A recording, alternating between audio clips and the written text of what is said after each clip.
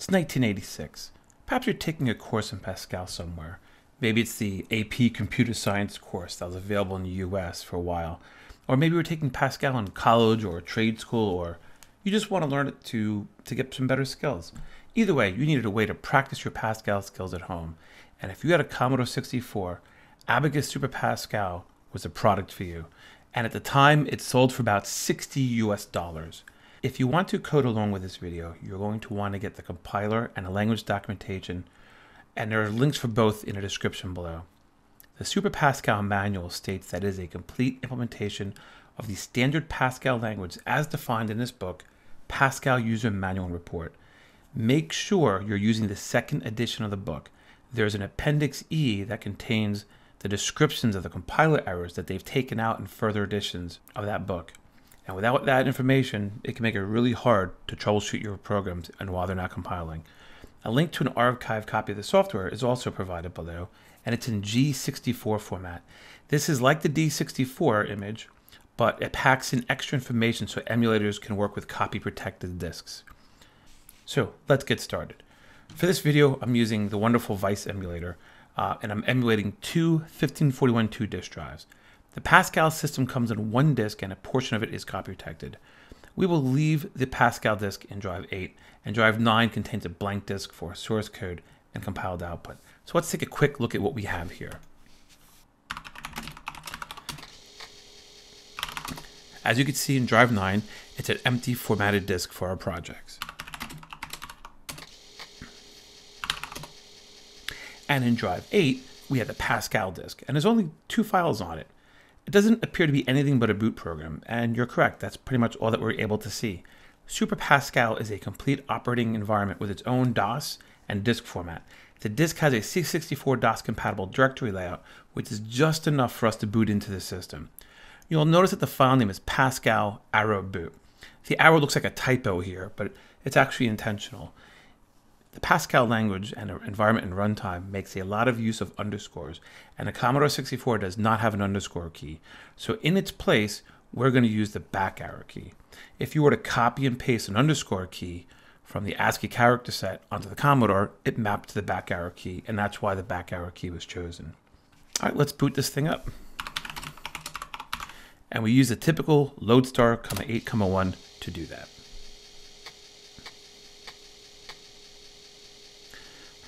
Press any key to move on to the next screen.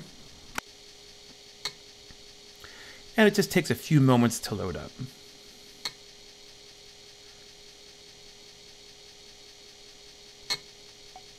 All right, and now we're at the Pascal system menu. So we're going to use the M key from this menu, map drive, and this serves two purposes. It gives us a directory of the disk so we can see what's on it, and it also changes the default drive for future commands. You'll notice it's asking which drive and it defaults to zero. In the Pascal system, they use device 0 and 1. 0 is drive 8, 1 is drive 9. It cannot see anything beyond that. So let's press enter and take a look at what's on our system disk. So now that we're in the Pascal system, we can see what's truly on the disk. So first you'll notice there are files in reverse video. The files in reverse video are locked files. These files are read-only, they cannot be deleted, and they cannot be overwritten. Each file name can contain up to eight characters. There's a naming scheme referenced in the manual where C underscore in a file name, and remember our back arrows are underscores, refer to compiled code. These are programs that I should be able to just load and run. Files that start with an S underscore or source code files that we can load into our editor and compile code from. You can see that convention is not always followed because here you can see main, sysgen, and loadat are just regular file names. Now let's run this map command on drive 1, which is drive 9, to see what our blank disk looks like. And we're going to get a cryptic error message, floppy error in $F35D. What that means is that disk is not formatted for Super Pascal, so we need to format it. You could see on our screen a reverse video a program called sysgen. That is the program we want to run to format a new system disk. So we're going to use the R run program command. We're going to type in sysgen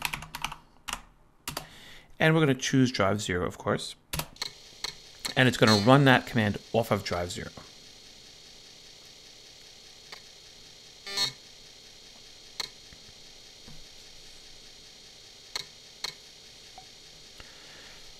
So it's going to ask us which drive do we want to make a system disk out of, and we're going to choose drive one. And like file names, the disk title can be up to eight characters. So we'll call it projects.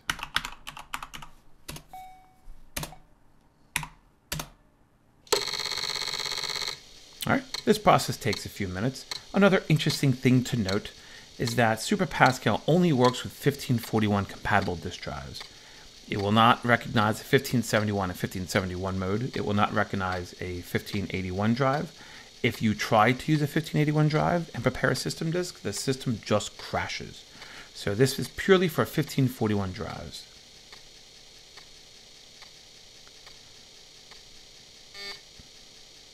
This process doesn't take too long.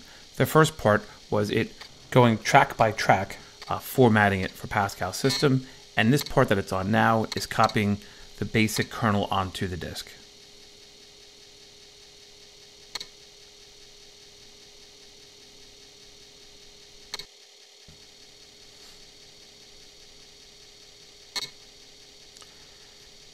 Okay, it's going to show us a map of the disk.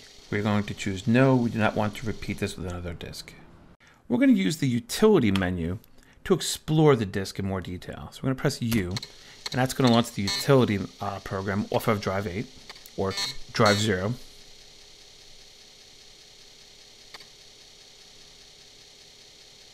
This manual contains a lot of commands for directly manipulating the disk. And now let's take a look at the map again, even though we just it a moment ago, of drive 1 of our new disk.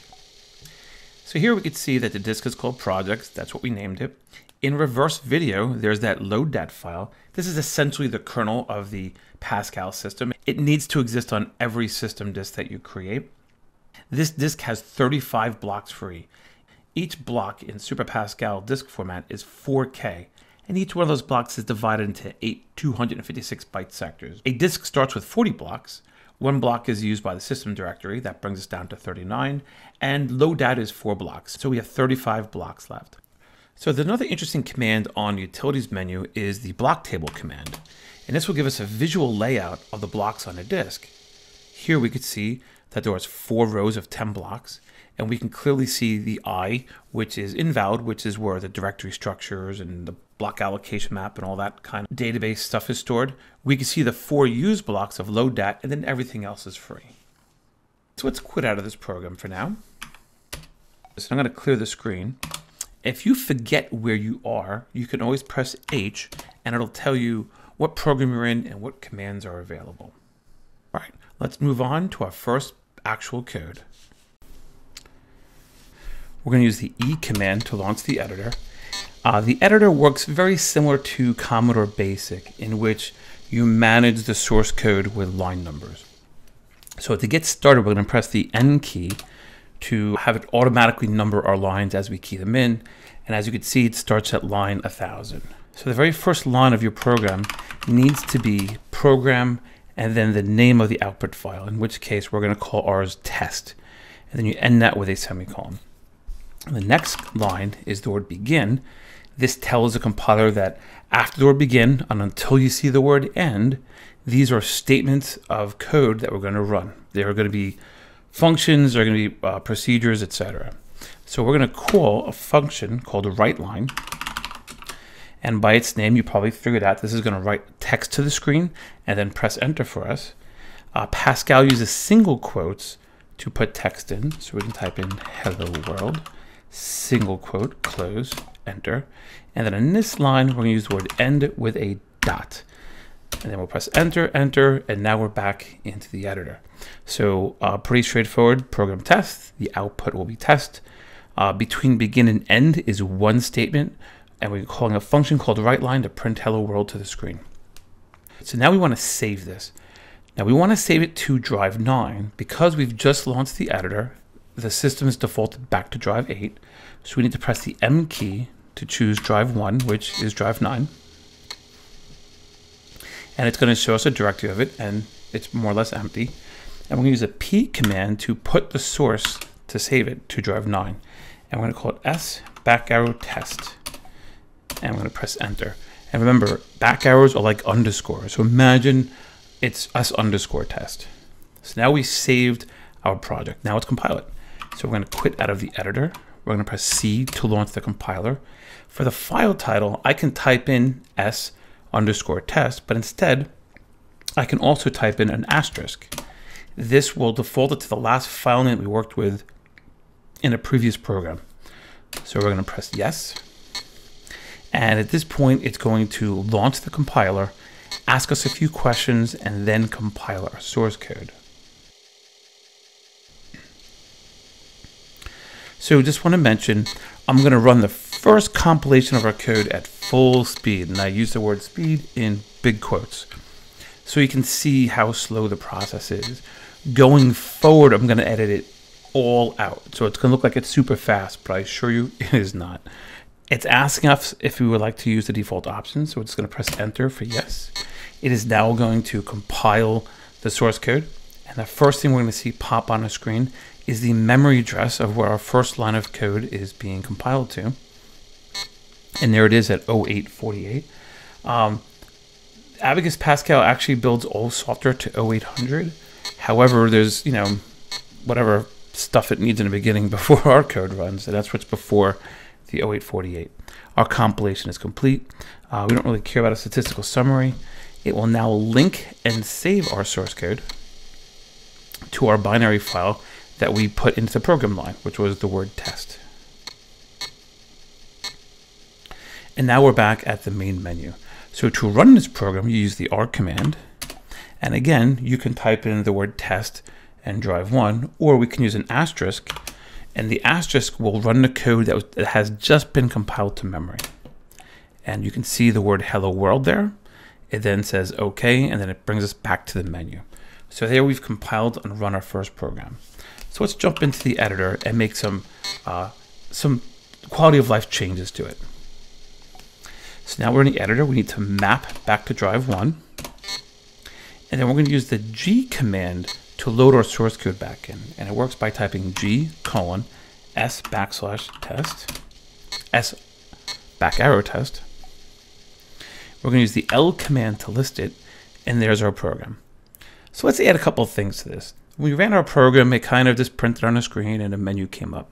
It would be nice if we cleared the screen before a program ran.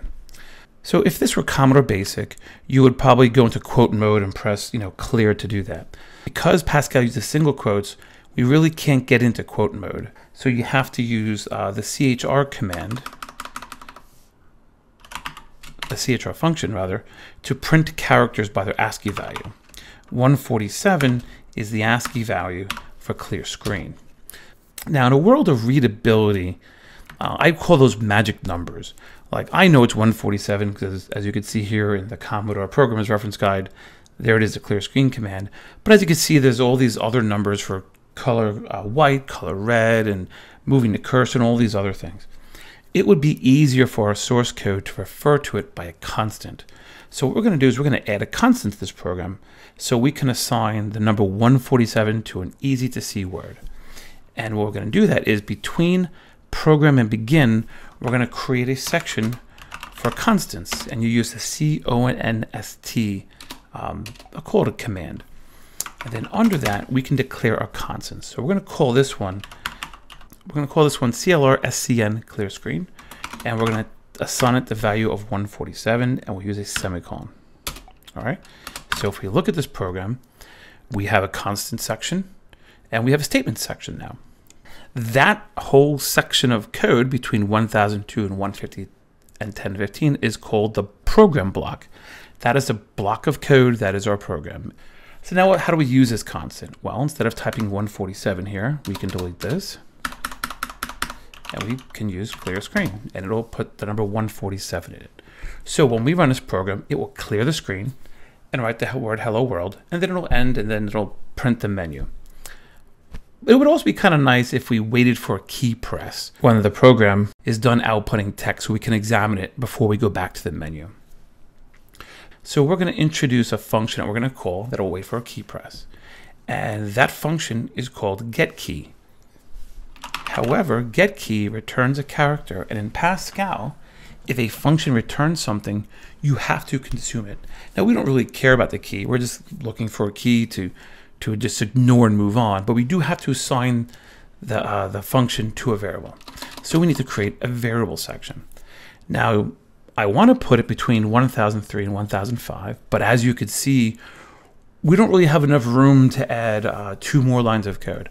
So looking at the menu here, there's a command called R for renumber, and if you press that, it renumbers our program by five starting at 1,000. So now we can put at 1011 a VAR section, and that stands for variables.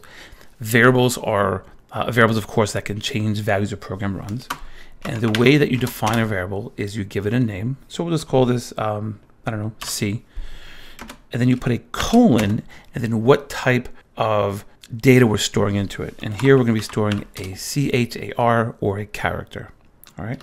So if we list our so if we list our program, we now have a constant section, a variable section, and a statement section between begin and end.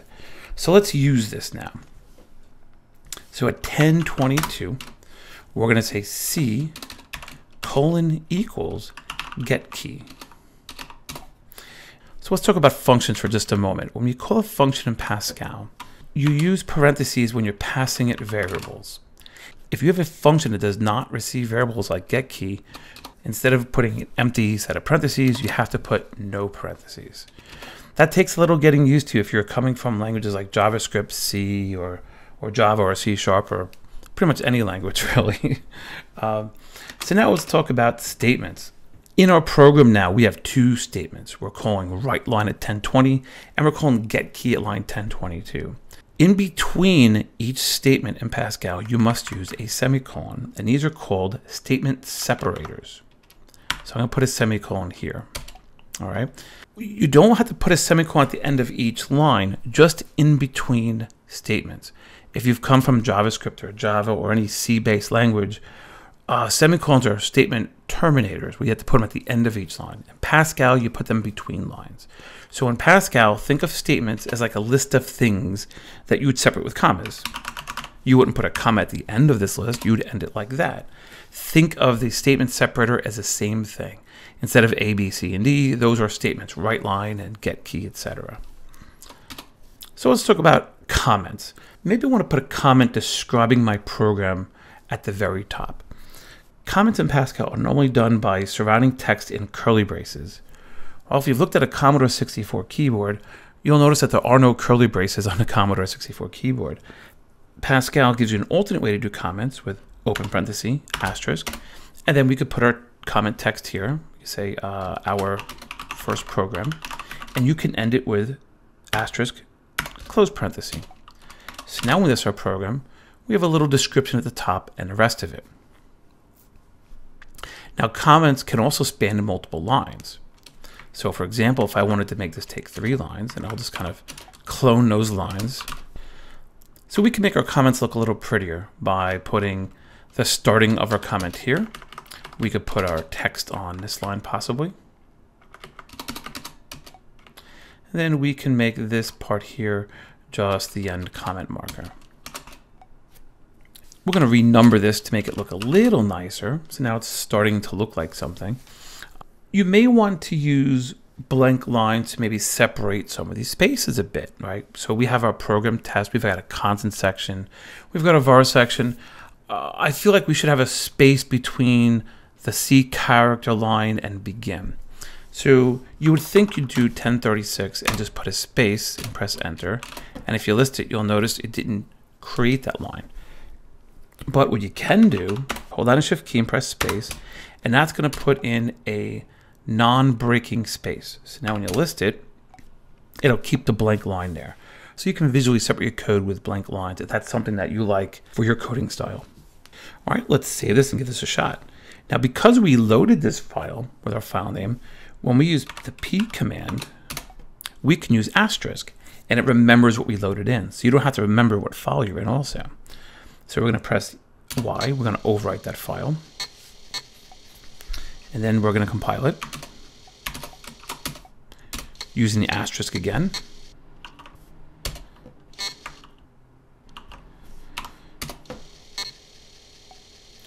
And then we can run our program now. And now it clears the screen and it waits for us to type a key. And now we're back at the menu. So let's create a new program. We're going to do that by jumping into the editor.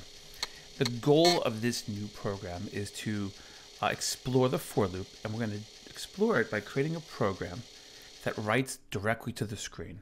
We're going to fill the screen with each letter of the alphabet, A's, B's, C's, all the way up to Z. So let's give this a try. So we're going to create a new program by using the end key to start at line 1000. We're going to call it loops because we're going to do some for loops here. So we're going to create a variable section and we're going to have a screen code that's going to be an integer. And we're going to have uh, the memory address that we're writing to also as an integer. All right, so let's begin our program section. And the way for loops work is you say for, you take the variable that already exists. You can't declare a variable here. You have to use one that's already available. We're going to say equals 1, 2, 26 do. So what this line of code does is starts at 1, assigns that 1 to the screen code variable, and then runs the statement. And then it assigns 2 and all the up to 26. What this statement is going to do is say for address equals 1024 to 2023. And this is also going to do a statement. 1024 is the memory address of the screen and the screen code. If you look in the program's reference guide, uh, the screen codes are they're different than ASCII codes when you write directly to the screen. Uh, screen code one is an A, two is a B, etc. And you can see them here on this page. And we're just going to go through every single memory address and plop an A in every single spot. And then we'll do a B, then we'll do a C. So how do we write to the screen? They give you an array. I'm going to call it a magic array called MEM. The memory contains 65,536 entries, where each entry maps to a memory address in the Commodore. So you can read and write to anything by reading uh, from the array or writing to it. So we're going to write to memory, and we're going to pass an address as the index. So it's basically like the equivalent of poke if you compare it to BASIC. And we're going to assign it the value of screen code. Okay, and then we're going to have an end here. So this is a very simple program. Again, it's just going to iterate through each letter of the alphabet. And for each letter of the alphabet, it's going to go through each memory address on the screen, all 1,000 positions. Because remember, there's 40 columns across. 25 lines down, 40 times 25 is 1,000, and we're going to fill each one of those with the letter. And then our program is going to end. So let's compile this and see what happens. Nope, we don't want to quit without saving, and I'm glad it asked me. Uh, we're going to map to drive one, and we're going to put S uh, underscore or arrow loops. So now we've saved our code. So let's compile this.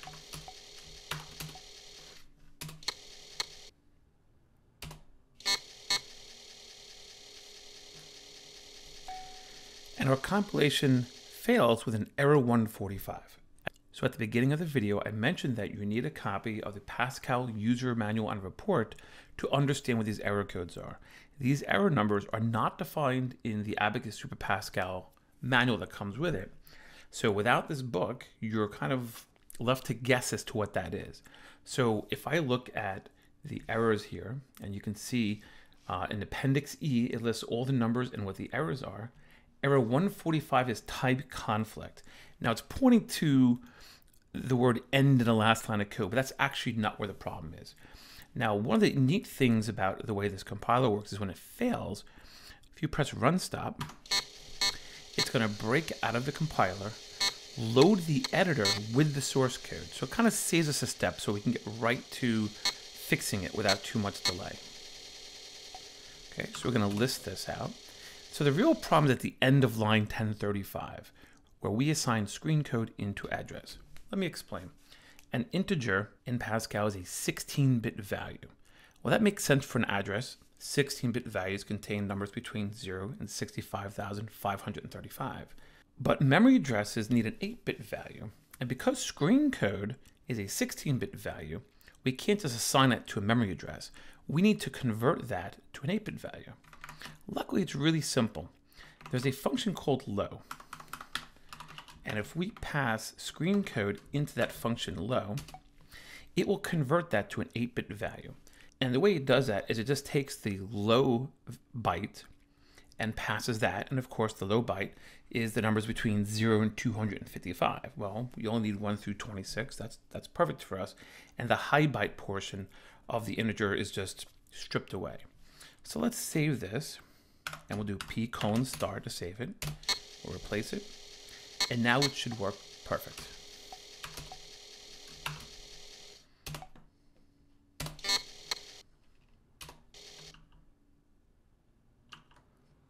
Okay, we're going to choose no for the summary. And now it's ready to go. So before we run this program, let's compare it to the basic equivalent of the same program. So in the right window here, you see the same code in BASIC, where we're looping from characters 1 to 16. We're looping through address 10, 24 to 20, 23. We're poking A with C, and then the two next commands will let the loops run. So let's run this in BASIC, and we're going to run our Pascal program just to get an idea of how Pascal compares to BASIC with performance. So let's run a BASIC program here. And we'll even give BASIC a little bit of a head start. It's got the A, it's working on B, and now we're going to run our Pascal version of this program. And as you can see, clearly the Pascal version just smokes the basic version. So this should give you a pretty good idea of how fast the Pascal code is compared to basic. Now, of course, it's nothing like machine language, and we'll address that shortly, but definitely much, much quicker than basic.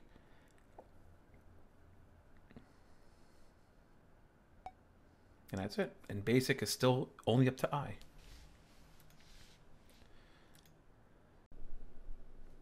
So here we are looking at a program that fills the screen with the letters of the alphabet. Let's break this up into a procedure call so we can reuse the code possibly for something else. So we're going to take lines 1030 and 1035 and move that into a procedure that takes one parameter, a code, to fill the screen with. So at 1100, we're going to declare a procedure and we're going to call it fill scn and it's going to take in a code that is an integer procedures, like the program, um, have their own block where we can define variables and constants and etc. just for the procedure. So we're going to start the statement section for our procedure block with the word begin.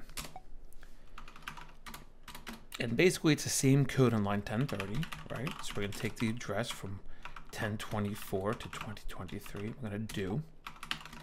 And then we're going to say mem address equals the low value of code. And code is the 16-bit value passed in. Again, we're converting it to an 8-bit value and putting it into an address. And then you end the statement section with a procedure with end semicolon. End dot is for ending programs, and end semicolon will end any other type of statement section. Okay, so let's get rid of 1035. And we're going to make 1030, instead of looping through the address, it's going to call our procedure. And we're going to pass it screen code. So let's take a look at this code. And this is what it looks like now. So one minor problem here with this code, the way it's written, you can only call procedures if they're defined before where they're used. Unfortunately, our procedure is after the program, so the fill screen statement on line 1030 will fail to compile. So we need to move the block of code from 1100 to 1140 up above. And here's how you do that. I'm going to press H here there's a command here called s shift line. And the way shift line works is you type s, the range of lines that we want to shift up, so 1100 to 1140. You put a colon, and then you tell it where you want to put it. Well, we want to put it right around line 1017, which is after the section where variables for the program are defined, but before the actual program code starts. So we're going to put in 1017. I'm going to press enter. And I'm going to clear the screen and relist it, and you'll see a couple interesting things here. It correctly moved our procedure up, which is nice, but it also renumbered our program, so everything fits in pretty well. So now we've got quite a bit of stuff here, and we have that situation where it's not as easy to read. So I'm going to insert some blank lines into our code to kind of break things up so we can visually see it better. So I'm going to put a blank line at 1017, and again I'm pressing shift space for non-breaking space. And I want to put one at 1042. So when we list our program here, it's a little bit easier to see in the eye. We can more visually see the different sections of code. Okay, let's save our code with p colon star. Let's compile this. Full options. Don't really want a summary. It's gonna link it now. And we'll run our code again just to make sure it still works. And it still works. Fantastic.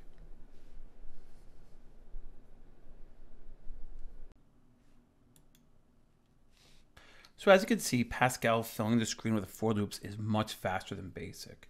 But what's even faster than BASIC? Machine language. With Abacus Pascal, we can create procedures that are actually written in machine language and integrates relatively seamlessly into our Pascal code. So let's make a version of the procedure fill SCN, but written in assembler. Here's how it works. First, we declare the procedure, just like normal, fill ASM, with one slight change. It's going to take in a byte instead of an integer. And then a next line of code, instead of writing begin, like you would normally do for procedure, you write in assemble and a semicolon. When the Pascal compiler sees that word assemble, it switches to an assembler and it runs assembly language until it sees .en. So here's what the code for this would look like.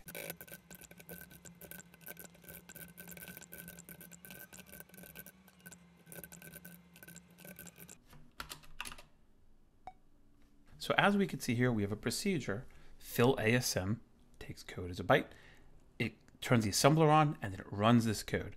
So I'm not really going to teach assembler here, but I'm going to explain to you what's happening here. The first two lines of assembly language um, load the byte that's passed into procedure into the accumulator. And the way that it does that is it loads the Y index register with a zero. STKPOI is a stack pointer, and that is a equate given to you by the assembler and it's a zero page address and it points to an address that points to the stack. so loading accumulator, look at the address in the stack pointer, um, add y, which is zero, and grab that value and put it in the accumulator. So that's what that does. So now the accumulator has the screen code we passed in. The next bucket code between 2030 and 2065 is a loop that takes the accumulator and puts it to every single memory location between 1024 and 2023 on the screen. The next block of code between 2070 and 2080 adjusts the stack pointer by one to complete, uh, and I'll put this in quotes, popping the value off of the stack. So when a procedure is called, the stack pointer moves down one and they put the byte on a stack. We consumed it at the top, and now we have to move the stack pointer back up one. It's a 16 bit address, so the first part increments the low value by one. If the low value uh, flips over to zero, it then needs to add the high value by one. And then at the end of that, we RTS, and that brings control back to Pascal. And like I said before, the .en tells Pascal that we're done with assembly language. So like previously, because fill ASM needs to be called after it's defined, we need to move the section statement from 1055 to 1070 to the end. So we're going to use our S command again, 1055 to 1070, and we're going to put it at 2100. And now that we list our code, we need to make one more final change where instead of calling fill SCN, we're going to call fill ASM. And instead of passing screen code because it needs a byte, we need to convert this to the low byte. Uh, and that's it. So now I'm going to list our code here. And we're going to get rid of the old procedure. We no longer need it. So we can delete 1025 through 1050. All right. And now we have our program written using Pascal and our fill screen function is written in assembler. So let's save this. And let's run it through the compiler and see how the compiler behaves differently now that we have assembler code in it.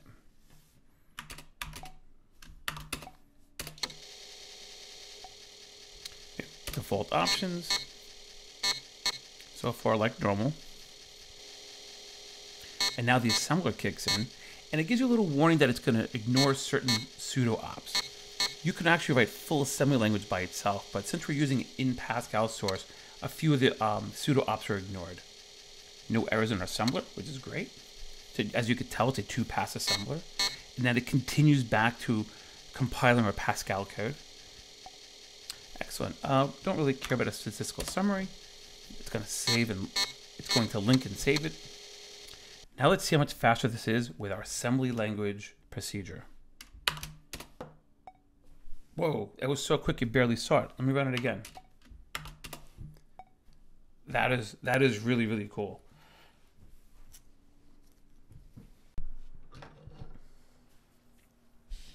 So as you can see now, our code is getting a little bit cluttered. We have our normal Pascal code with this big block assembler in the middle. It would be nice if we can cut that assembler code and put it into its own file to make our project a little bit more readable. So to do that, we're gonna we're gonna scrape away all the other lines of code except for the procedure that has the assembler in it. So let's start deleting stuff. Let's start deleting 1110 on. Then let's delete 1000 to 1020. So now we have just the assembler code. All right, I'm going to put this into a file called sfill.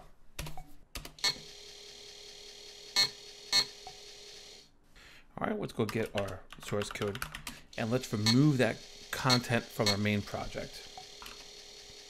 So now in here, we're to do the opposite. We're going to delete 1025 to 1105. And then here on line 1020, we're just going to use a new command called include. And type it include, and then you put the name of the file in. All right, so let's save that. And now our code is much easier to read. And of course, let's make sure it compiles.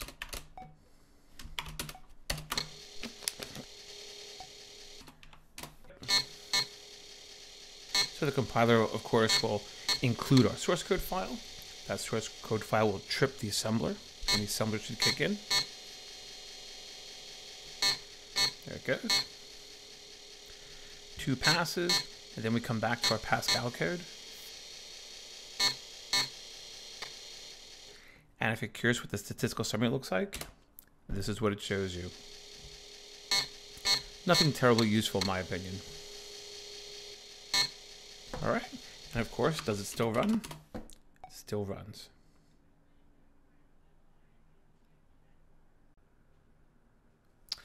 So now we're at a point where we have our application and we want to put it into a form that other users can take and, and run it and run it very easily.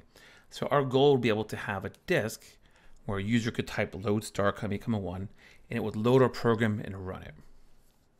So this part is actually not documented in the manual for Pascal System 5.3.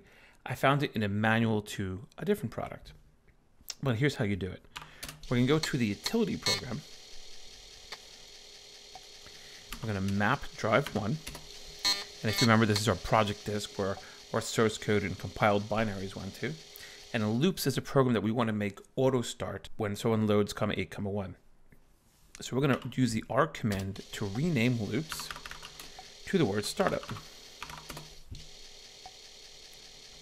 And now we're going to restart the computer and see how it behaves.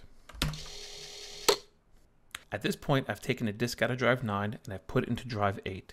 So drive 8 has our program on it. So here's what it looks like when you distribute it to somebody. So we load star comma comma 1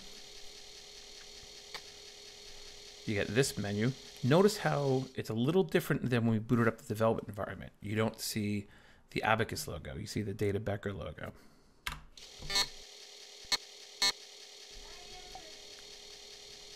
And here you can see that our program automatically started, it ran, and it left us at the menu.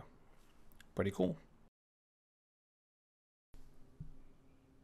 Abacus Super Pascal is a nice development environment for making programs with the Pascal and assembly language. It's great to be able to work in a structured language and then be able to drop down to assembly language when high performance is needed. The incredibly slow speed of the 1541 disk drive really do hold the power of this package back though. Compiling multi-file programs is just dreadfully slow. On the plus side though, when your code does fail to compile, it brings you straight to the editor with the source code. If I recall correctly though, the first few wizardry games for the Commodore 128 and 64 were written in Pascal although I'm not sure which compiler they used for the 64 and 128 versions. Those games do demonstrate that it is possible to write highly entertaining software with this language though. While I'm happy that we covered the core features of the development environment in this video, I really wish I had more time to dive deeper into the Pascal language itself. With that said, I'm already thinking of a follow-up video to this where we'll cover functions, file I.O., records, and pointers. But that video will be with a different Pascal system, and I think you're going to really enjoy it. So keep your eyes out for it. Thanks again for everyone that watched this video. I truly, truly appreciate it. Take care.